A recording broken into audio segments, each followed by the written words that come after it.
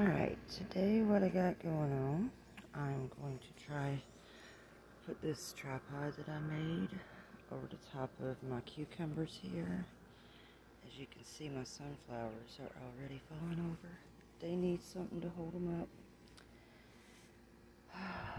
We all need something to lean on, don't we? Sometimes. And I've gotta do something about this corn because pretty soon it's gonna be leaning over too. I was thinking I'd add more dirt in there, but I think I'm not gonna mess with that. I'm just gonna find me some sticks and kind of corral it in together with some rope maybe. We'll see what I do in just a minute. Alright, so most gardeners farmers or anybody that does anything outside probably has some of these laying around. These are your little hay bale strings. I've got so many of them, tired of seeing them, about to use them. So I just tied it up real quick. That'll give something for the cucumbers to grab as they get taller. And it'll help hold up my sunflowers as they get taller too. Now as it gets bigger, I'll add more string to the top of the teepee.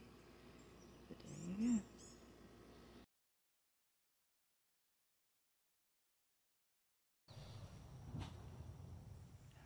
Alrighty, I'm going to show you how crazy my herb garden got in the past week.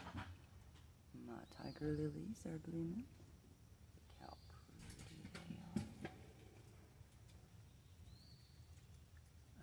Them up because the water keeps knocking them down. Got a sunflower coming up. Now look at how crazy this looks. Now,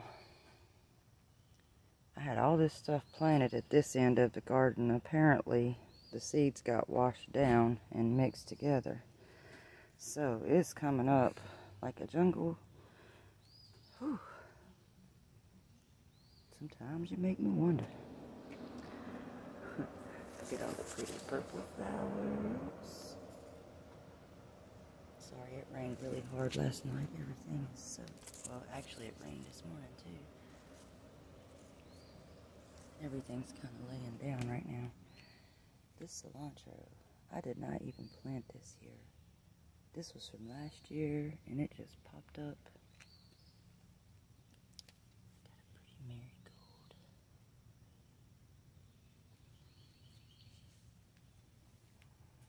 elephant ears are getting huge.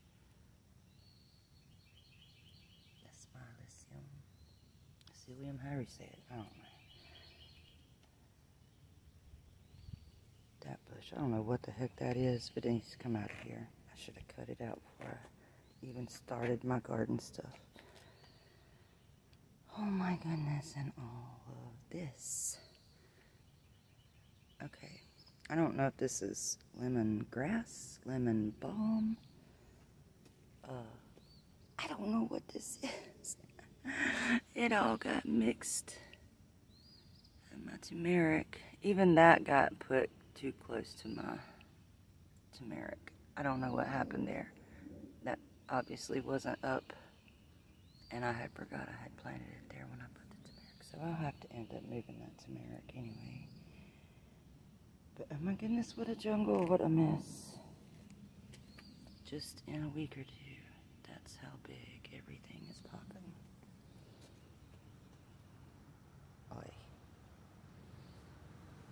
Something better hurry up and bloom besides those flowers in the back, because this ain't so pretty like that. I just planted this kale and it's already popping up like crazy. see a little sucker. And another little sucker. Get all them suckers. Some tomatoes coming up on this. Yep, yep. This one. I got I should have separated these. It's too much in one pot and they're too close together. So I don't know how well this one will do, but We'll see.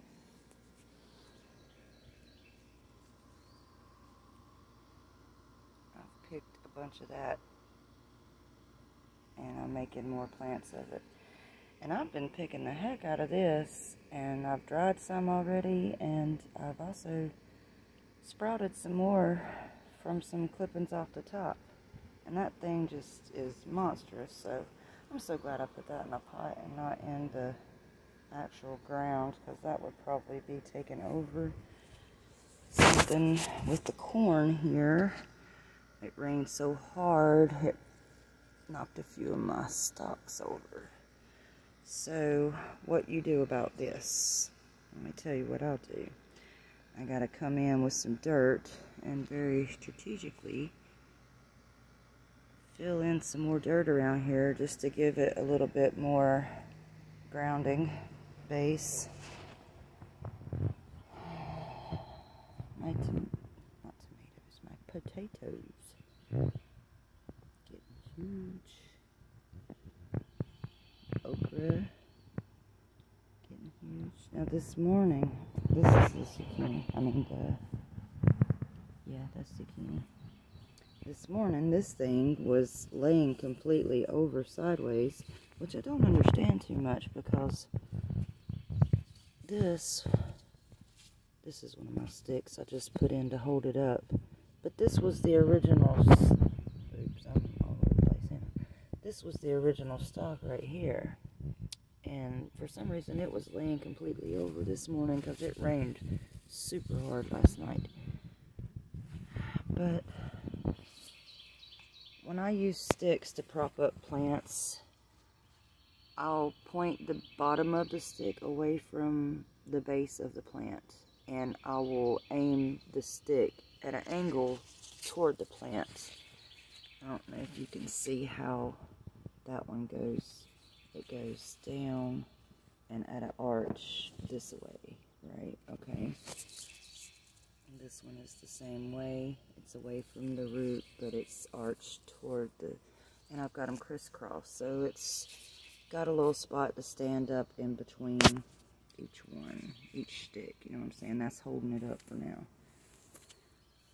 Now, with it being that top heavy already, I'm probably going to come in here and snip this up a little bit and try to make me some more starts from some of these pieces. I haven't done that with a fig tree before, but I also hadn't done it with my elderberry, and that worked out, so we're going to try it just for just for the giggles.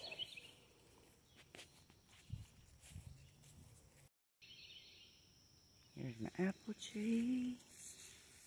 Must be doing something a little good because it's got a little growth on it. I gotta fix that. Okay. Apple tree that I just planted a few weeks ago. And it must be doing good. Because he's got some new buds. We'll see.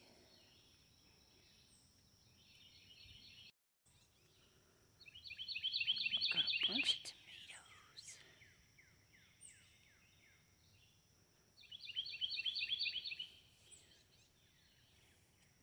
Got tomatoes on quite a few. Oh, look at this. Here's my yellow squash. I got a baby yellow squash coming. Ain't it cute? There's another one too.